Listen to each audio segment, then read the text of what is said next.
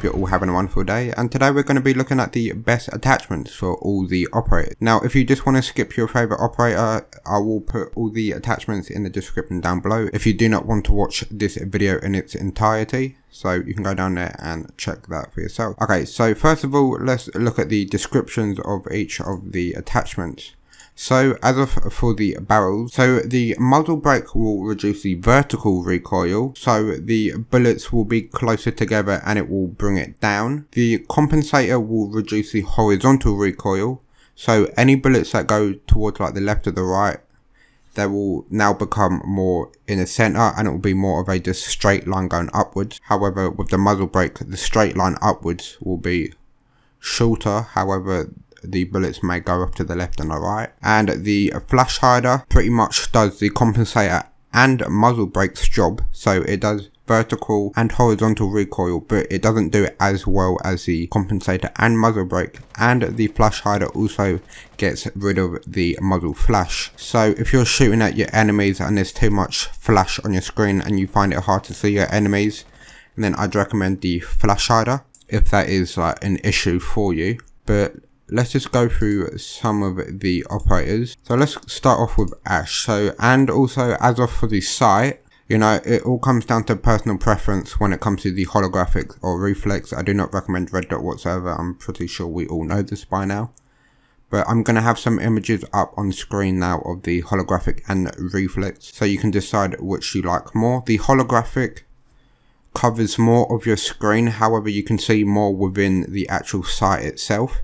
However, the reflex you can see more of your screen, more than you can with the holographics, but you can see less within inside the actual sight.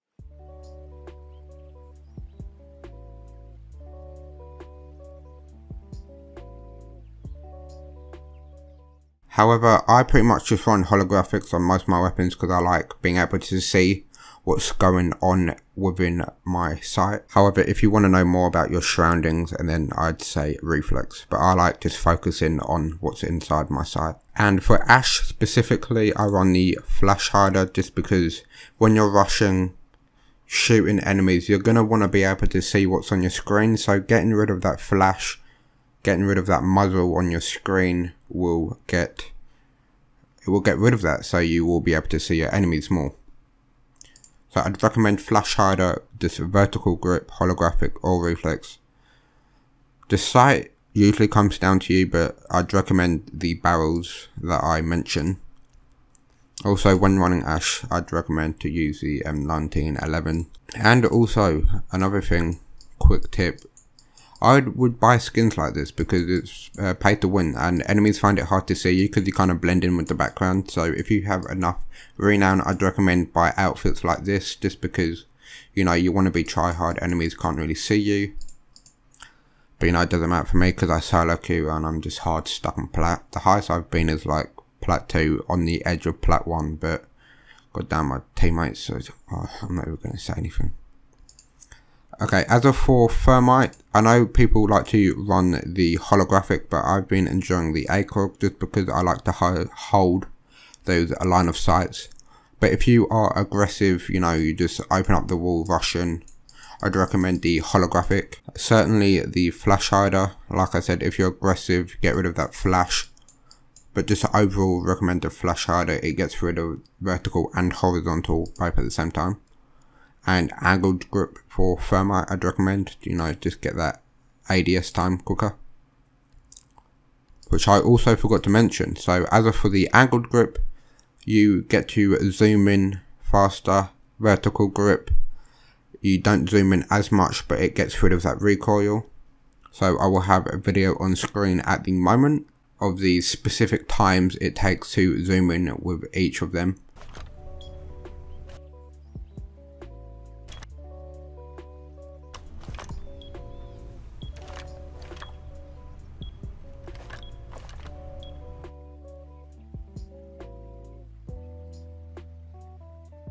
but just generally speaking, the angled grip is better off if you are more of an aggressive player, and vertical grip if you like to hold those uh, line of sights. But I'd recommend try the holographic on Thermite if you haven't. I have, but it hasn't gone too well for me, but I'd say do it anyway.